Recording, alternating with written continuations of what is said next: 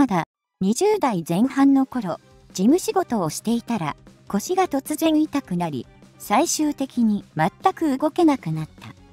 家族に迎えに来てもらって、町の整形外科に直行したんだけど、結果は異常はなく原因不明。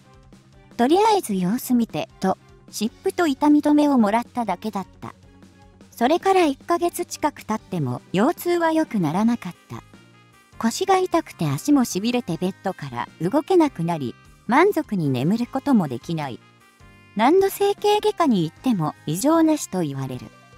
原因不明でこのまま動けなくなるのではないかと本気で絶望した。毎回異常なしと言われるので、整形外科に付き添ってくれた父が、わからないなら大きな病院への紹介状を書いてくれと頼んでくれた。しかし、医者は本当に異常はないから書けない。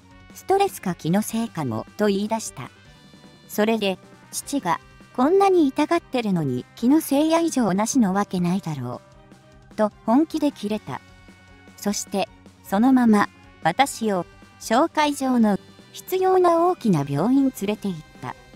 受付で渋られたようだが、父は事情を説明して頼み込み、通常より時間はかかったが診察を受けられた。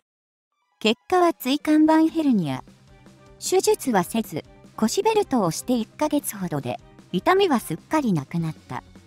今でもたまに少し痛むが、その時だけベルトをすれば普通に生活できる。今日、偶然、腰痛の8割は原因不明。ヘルニアはたった5%で見つけづらいという話を見たので、整形外科の対応も仕方なかったのかもしれないと思う反面、医者なら見つけろ。せめて可能性を考えて紹介状を出せ。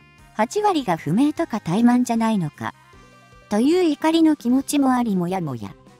せめて私のような原因不明の腰痛で悩む人が減ることを祈っている。